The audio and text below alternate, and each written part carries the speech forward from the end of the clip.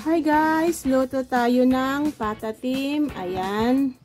Ah, medyo nasa pressure cooker na siya. Nilagyan ko na siya ng toyo, sibuyas, yung banana blossom.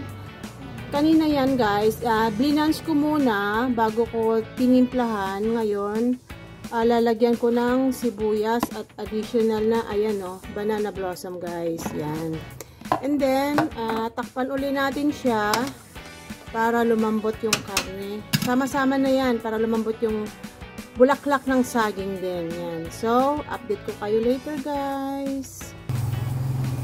Hi guys, ayan, buksan natin yung ating pata.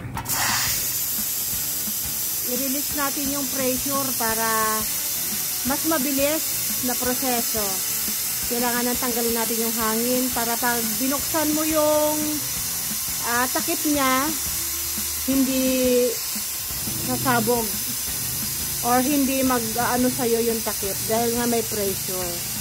Yan, pwede rin yan guys itong takip, pwede rin yan kung may mga tap water, pwede rin itong itapat sa tap water or buhusan lang ng tabo para mabilis lumamig, mag cool down. Mawala yung pressure niya sa loob ng pressure cooker. Yan So, tignan natin ngayon kung malambot na ba yung ating pata.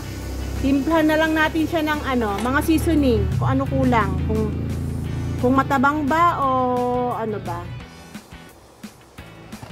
Ayan guys, buksan natin ang pressure cooker. Ayan.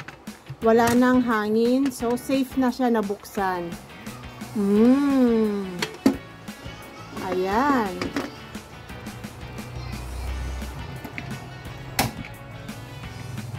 Binuksan ko uli yung apoy. Dahil habang nire-release natin yung hangin dapat patayin mo yung apoy para hindi siya madagdagan na madagdagan yung pressure. O ayan guys malambot na yan no? O sobrang lambot na. 20 minutes ko yan na pinakuluan sa pressure cooker. So magdadagdag na lang tayo ng mga seasoning yan guys, magdagdag tayo ng ah, para ma-magic yung kanyang sarap. O ayan, isang scoop lang.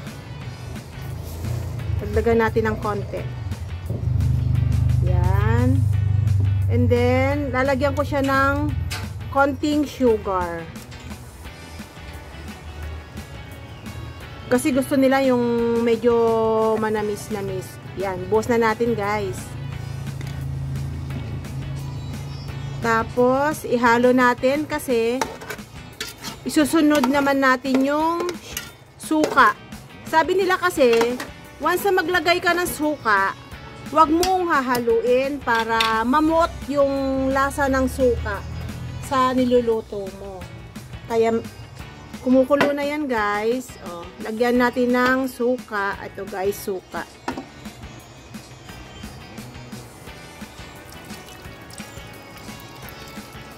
Yan, okay na yan. Hintayin natin siya na kumulo at wag haluin, hayaan mo lang siya na ganyan. Pwede nang hindi takpan yan, guys. So, mamaya-maya lang konti. 2 minutes, hayaan lang natin yan, yan. Ayan na siya, guys. Luto na. So, papatayin natin yung kalan ngayon.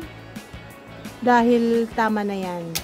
Yan, okay na siya, guys. Serve while it hot, sabi nga nila.